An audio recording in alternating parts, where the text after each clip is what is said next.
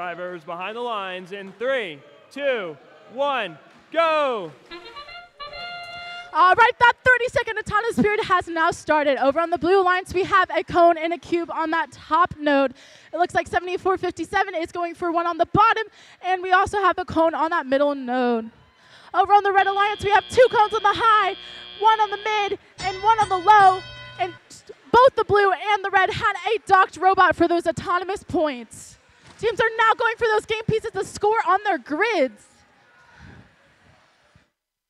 7457 zooms across the field to get that cone on that high node, going for those different patterns.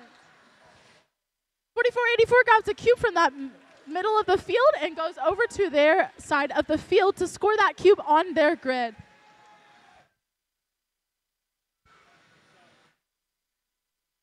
It looks like 4272 is trying to play a little defense, all going over to get their cone from their human player station.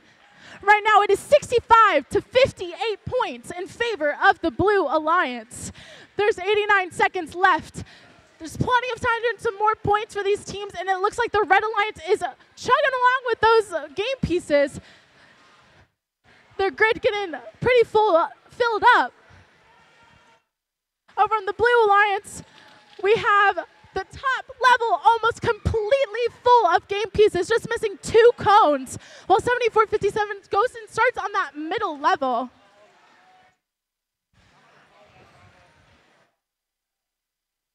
It looks like the teams are playing some defense in the middle of the field.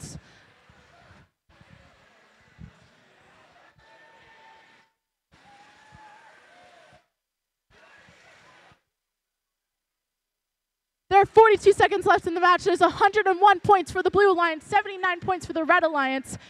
Those grids are getting pretty full of game pieces right now. 74-57 is making their way across the field with their two alliance partners to place those game pieces on their grids. Right before they have 30 seconds left to have dock on those charge stations and engage with it. It looks like the Red Alliance is going for a double dock on that charge station, and they are docked and engaged with 13 seconds left. The Blue Alliance also has a double dock and engage. There's seven seconds left. Three, two, one. And that was playoff match number eight.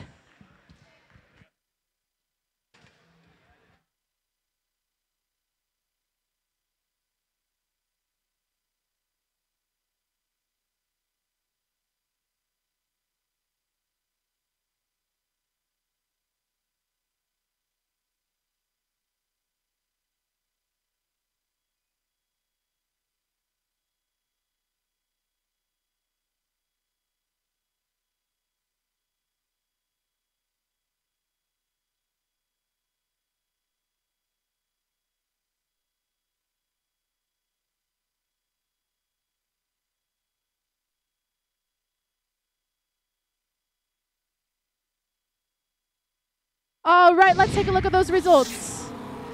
Congratulations to the Blue Alliance for winning that match, 141 to 121.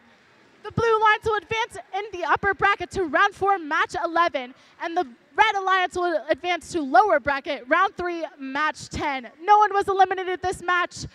The Red Alliance has a one more chance to keep in this competition at B3.